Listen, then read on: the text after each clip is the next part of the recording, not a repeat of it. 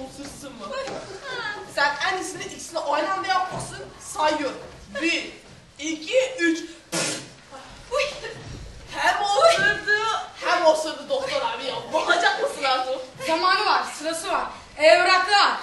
Ee, hangi evraklar acaba? Nasıl hangi evraklar kardeşim? Şevkir Salih ise hastaneye yaklaştı. Otopark işi, Fener Beşiktaş maçı bileti. Bunun gibi daha bir sürü evrak var. He. He, hani abi o işler bitti ya. Yasa değişti ya. Zengin, fakir ayrımı yok ya. Hepimiz eşitiz ya. Yasa meclistedeyiz canım. Buraya gelmesine daha 10 yıl var.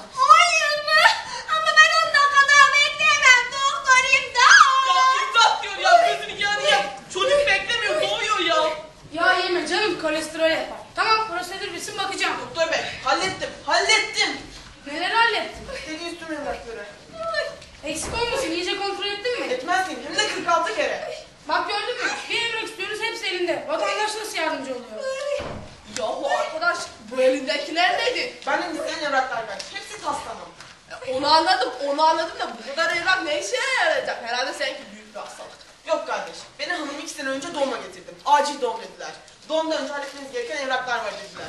Ben de nedir dedim, demir doluydu. Hala uğraşıyorum. E, iki sene önce karın da oldu. Vallahi hala hastane içinde tutuyorlar. Çocuk doğdu değil mi? Yok, onu da karımın içinde tutuyorlar.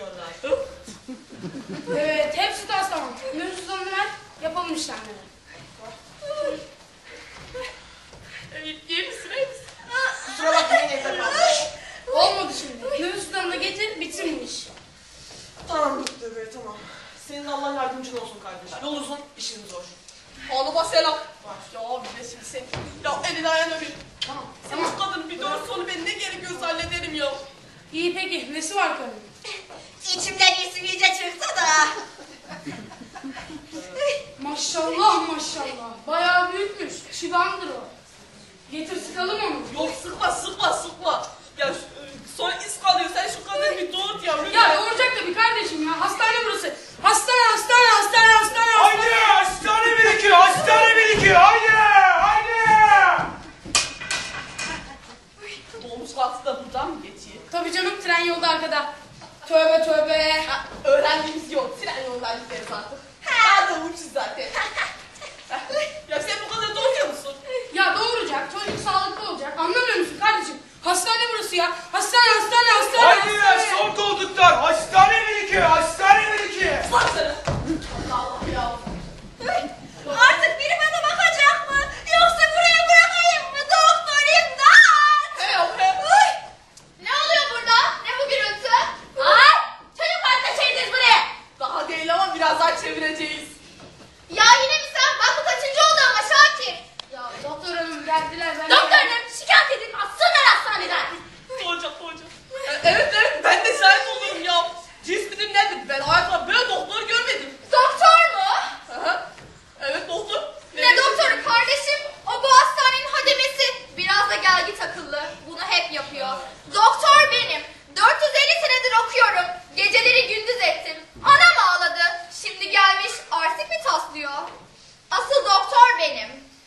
Ben demiştim. Fark Ya nasıl fark etmem ya. Neyse ben de gideyim tuvaletleri temizleyeyim. Hadi Allah kurtarsın hadi. Beyefendi sakin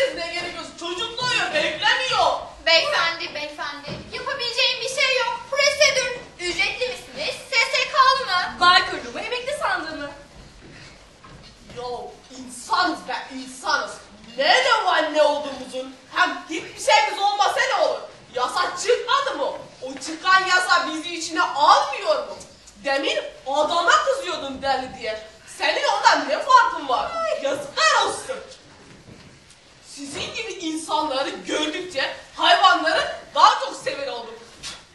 Senden içinde tut ilk okuldan başlatırız çocuk diye.